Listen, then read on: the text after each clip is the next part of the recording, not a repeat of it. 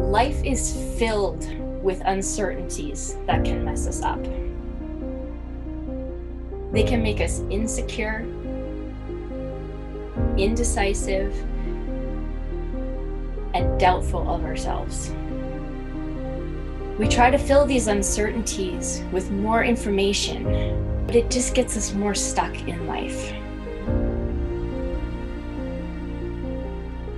There's a space where genuine newness can begin.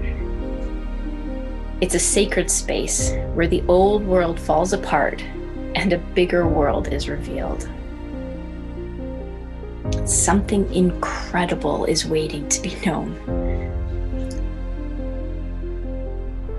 Are you ready to receive the gift of liminal space?